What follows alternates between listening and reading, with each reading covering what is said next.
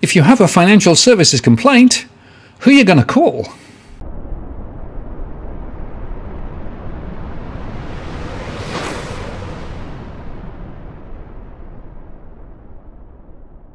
Hello again, it's Martin North from Digital Finance Analytics, World latest post covering finance and problem news with a distinctively Australian flavour. There is a very important entity which exists in Australia called AFCA, the Australian Financial Complaints Authority, which is effectively the external dispute resolution scheme for consumers who are unable to resolve complaints with member financial services organisations. A not for profit company, limited by guarantee, that is governed by a board of directors, which includes equal numbers of industry and consumer representatives. And so, if you are going to take a financial services complaint beyond the financial services organisation itself, then AFCA is who you're going to call, or actually, more likely, who you're going to access online. Today, I'm joined by Robert Elfin. Hi there. Oh, hello, Martin. How are you? Great. Thanks very much for uh, coming on the show. And uh, you sent me a message the other day saying, I want to talk to you about AFCA, right, which is the ombudsman effectively for the financial services sector. Now, very interested in having this conversation because, of course, it's regarded as a critical element now. And um, let's start with just a little bit about yourself because this is more a sort of a, an observation from a professional point of view rather than just a personal point of view, isn't it? Yeah, correct. Um, yeah, so just a bit about myself. Um, so my background um, is, or educational background is banking and finance.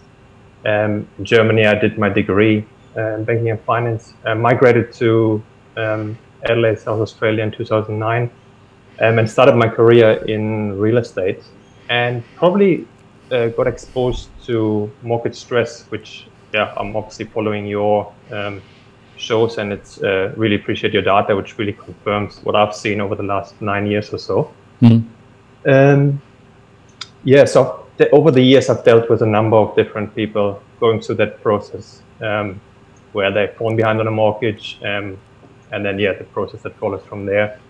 Um, and uh, yeah, AFCA has been um, uh, an organization I've turned to for a lot of help and trying to negotiate with banks via uh, the ombudsman, which has been helpful for sure.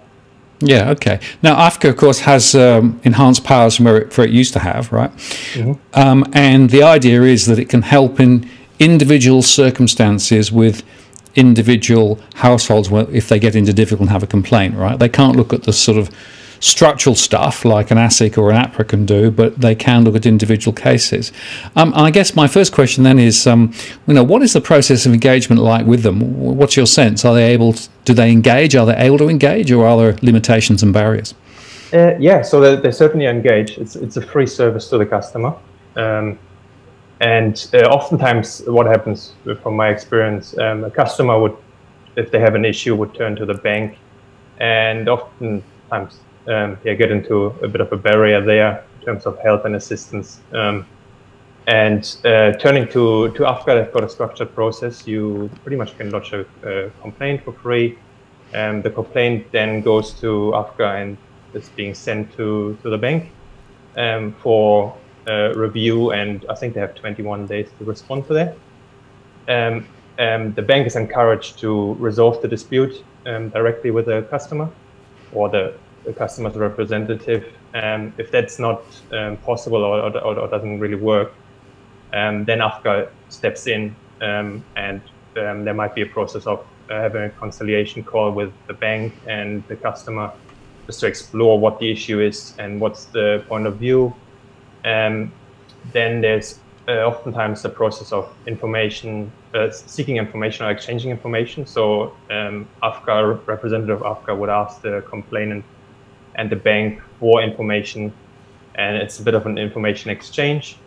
And from there, uh, um, AFCA will then make a recommendation, um, and if that recommendation still not acceptable by the parties as a resolution of the case, um, it will then go to the ombudsman for determination, which then is a final decision from the ombudsman. Um, and there's really no um, no appeal to that. Um, that's the final decision from the ombudsman to close the, the case and resolve. Mm. Yeah. So the ombudsman decision is effectively final, right? Uh, that, yeah. and, and both parties essentially have to accept it. Uh, but that is after the initial discussion with AFCA, right? So effectively, there's a bit of iteration, um, try and reach some sort of agreement, and if not, then it goes to the ombudsman. That's the process, right? Yeah. How, how long does that process tend to take? Uh, it can take a fair while. In my experience, um, probably the longest cases I had was probably over 12 months. Um, yeah, it can be a very long process um, if going all the way down to the determination stage. Right. Yeah, and uh, there's a little bit of a it depends to it, but obviously, um, if they're going to get a lot of information and a lot of um, uh, toing and froing between the two two sides, it can be quite quite a long time. Um, how many how many um, cases do you think, or perhaps you don't know, but uh, I'd just be interested in your opinion. Um, how many cases get rejected by AFCA? You know, when people sort of rock up and say, "I've got this problem," and they say, "No, you haven't," and sort of flick them away again. Any sense of that? Um, I don't think there's many that get rejected. Um, what I've, I've uh, seen in the past is uh, if someone lodges a complaint, the complaint gets closed or resolved, and then the customer comes back lodging the same complaint, um, then AFCA, yeah, or a very similar complaint after then says, look, we've dealt with this and we're closing it. But um, every complaint from my experience gets taken serious um, here to start with. Mm, well, that's good to know. And um, my understanding is that um, you know the, the, the, sort of the overall process would be that somebody has a an issue to do with their financial services mm-hmm. organisation. Step one would be to try and resolve it with that organisation direct, right? Go through the internal complaints process with inside uh, the, the, company. Uh, they actually are now obliged to say, as part of that process, that if you're not happy with the resolution within the company, then you can go to AFCA, right? And then you mm-hmm. put the application into AFCA. It's a relatively simple process, as you say say. Uh, they then review it and then go through that process that you've mentioned uh, with, with, a, with a point of resolution. Now, there's a couple of interesting observations. One is there has to be a point of contention, so it has to be a complaint. In other words, something has have to have gone wrong. Yeah. Right. Uh, and then secondly, the bank or the other financial services organisation has not resolved it first pass. Right. So that's mm-hmm. sort of the, the process. So so that's the way that it, that it works. Um, What's your sense in terms of the uh, you know range of issues? You mentioned mortgage stress. So, is, are a lot of the issues that you touch relating specifically to missold mortgages and those sorts of things, or you know, yeah. are there a range of different things that you see? Uh, so, the complaints I've dealt with, um, the majority of them financial distress. So, um, the borrower falling behind on their mortgages. Um, to, yeah, definitely uh, stuck, don't know where to go. Um, so I, I often have, yeah, came in in that area um, to go down the AFCA process to trying to resolve it um, with the with the aim of reaching a resolution agreement. Um, hmm. Yep. Uh, and, and, and, banks want to try and you know reach agreement. Obviously, it's you know despite what people may think, but sometimes it does come down to who said what, when, what evidence is there. You know, is there material in writing that you can turn to? Uh, and what's your experience there? It, um, are, are we sometimes in a situation where it is he says, she says, and there isn't anything documented to um, take the conversation forward? Uh, yeah. So. Uh, oftentimes the cases I come across, so when I sit down with, with a customer, um, they're disappointed and the bank pretty much oftentimes uh, in terms of internal uh, dispute resolution denied um, any kind of resolution. Um, then taking it up uh, with AFCA, the outcome very, very different. Um, yeah. Yeah. Okay. Right. So, so it does actually give you an extra um, you know step that you can take and uh, you know certainly the feedback that I get from people who've been through the processes it can be a bit long a bit winded it can be a bit complicated but actually quite often it will come out with a better resolution than the financial services organization would have offered initially right? Yeah absolutely. and it's also worth making the point that, that those financial services companies have to pay don't they eh, when when an application goes into AFCA yeah so the, the yeah the member banks uh, they pay and it's free service to the customer. Obviously the question there is is there a bit of conflict of interest? Um, if the banks pay for it then yeah it's free to the customer. Um, yeah. But but it is a free service to, to, to a customer's point of view Correct. right? Yeah. Uh, and so you know what would you rate them in terms of their ability to be able to actually get to a resolution? I mean it sounds to me as though you're reasonably comfortable with the process and uh, the outcomes. Uh, yeah so um, I, I, would rate uh, them definitely a very helpful service um, to, um, to to the customer. Um, in terms of outcomes, um, they are limited, um, and I would say limited loss to the bank. There's obviously, yeah, if something gone wrong, um, especially in the, spa- the uh, space of responsible lending, there's compensation, but it's very limited on the on the bank. I have to say, yeah. And that's a really important point, right? Because there's a big debate at the moment about whether the standard responsible lending obligations, which basically come from from ASIC, um, are going to be removed. And of course, the argument is, well, they'll be replaced by the AFCA process, which we've gone through. But the mm. point is that the responsible lending obligations that are currently in existence are much broader and wider and more policy driven. So that means essentially that uh, ASIC can look above individual cases to try and actually get to root cause analysis and potentially guide, um, uh, you know, alternatives to the to the guidance.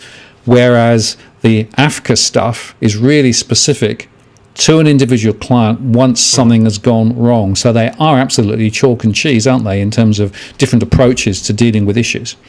Yeah, correct. And I, I personally think, yeah, the responsible lending obligations, uh, they're crucial. And uh, my personal view, is they, they should not be taken out and should not change because that's really the last resort the customer has. Because um, it's not really a, a um, um, equal relationship between the bank um, and the customer in the first place. Um, so I think they're crucially important and they should remain, um, if not enhanced. That's my personal view. well, you're certainly singing on the same hymn sheet as me on that one because, and by the way, Choice and uh, another of a number of other of uh, the consumer groups are all saying, uh, you know, whatever the government may say, and you know they've sort of tackled this uh, in terms of uh, economic recovery and etc. etc. and lending to SME. They're sort of almost throwing every argument they can. But the fundamental yeah. point is that we are losing a critical layer of protection which exists today because essentially it puts all of the pressure back on individuals, and basically the the banks have you know some obligation now with regard to how they lend and what they lend post the uh, removal of these uh, uh, rules, if they were to be removed, and it comes back to the Senate in, in, in June, later in the month, um, it means that, that, essentially it's down to the individual borrower. And if basically the borrower represents to the bank and the bank takes that and then makes a loan and it's not appropriate or you know it doesn't work right, all of that goes back onto the individual borrower. There is no protection, right? Yeah. And that's a big, big change yeah, and it's very unfair um, because oftentimes the customer, um, well, they're not really aware of, of, of, the obligation in the first place and um, might not know exactly what they're setting themselves up for. Yeah, and that's the point. You make the point exactly right. The unequal balance between, you know, the power and knowledge of a large financial organisation and and an individual, and that's why we need we need appropriate protection. So, I mean, I think AFCA is you know good. I'm not saying it shouldn't exist, and it's got a very mm. important place in terms of the resolution of individual specific problems post those problems arising, but it's not the same as the responsible lending. And I just remind everybody um, what the Royal Commission showed a couple of years ago, right, in just how many loans were actually missold and how many times people were you know, deceived directly or indirectly to uh, end up with loans that weren't appropriate for them. And that was with the responsible lending obligations in place. So imagine what it would be like without them. So it's a pretty critical um, thing. And by the way, I believe that there is a bit of a majority emerging in the Senate to um, uh, block those um, rules coming back. So let's uh, keep our fingers and, to- and, toes crossed on that one. Yeah, um, correct. F- final point on, on, on AFCA. Um, is this a process that can be done online, or do you have to actually turn up physically, or um, can be done with documents? How does the process actually uh, work? No, online, uh, very simple. There's a um, online um, platform. You yeah, you pretty much put in your, your details, and it gets sent to AFCA and then forward to the bank. Um, um, yeah, no, a very simple process. Uh, right, and and that's worth I think highlighting to people because sometimes people I think you know feel a little bit um, overwhelmed by the process of making an official complaint, right? But yeah. you know, I'd underscore what you've just said. It's a very simple process. It's an electronic form. Um, the questions they ask are, I think, rel- relatively simple and relevant, right? And so, if you don't get satisfaction from raising an issue with your particular financial services organization. It could be lending, or it could be um, you know other things to do with financial services, right? And then you've got the that, that important path um, complete the um, the process there, and then basically it throws the ball back into AFCA's court. And as you explain the process, then they actually take it forward. So, so folks, the message I think from this conversation today is there is this very important safety net, and in the current environment, uh, given the fact that we've got very high levels of debt, we've got um, many households struggling from a financial perspective. Um, you know, the the fact that this exists is really important, and um, I'd encourage people to uh, to check it out if they've got an issue. We'll put the links below to to Africa and uh, um, you know, I appreciate your time today in terms of highlighting highlighting this. Is there anything else that you'd want to add uh, for people to be aware of? Um, the, yeah, well, yeah, um, I, I, would uh, definitely uh, say a similar thing. So it's a free service, and I would encourage anyone um, to make use of it, um, eh, whether the issues are minor or, or big issues, because um, it, it really sets up a process where you get to speak to the right kind of people within the organization and get answers um, directly. And if they can't be resolved, you have a third party there you can um, turn to. Um, so I think yeah, it's an important um, uh, process, and uh, yeah, I would definitely encourage anyone to make use of it. Terrific. Well, I thank you for your time today. Thanks very much for bringing that to our attention, and uh, I appreciate uh, your sharing your thoughts with us. Yeah, thank you very much. Thanks, Martin. Thank you very much. Take care. So there you have it, a very important conversation. And if you have an issue with a particular financial services company that is governed by the scheme, try to get resolved with them first. But if not, then you can go to AFCA. The process is simple, straightforward, and in fact, their resolution services are pretty good. So worth storing away for future reference. I'm Martin North from Digital Finance Analytics. Many thanks for watching, and I'll see you again next time.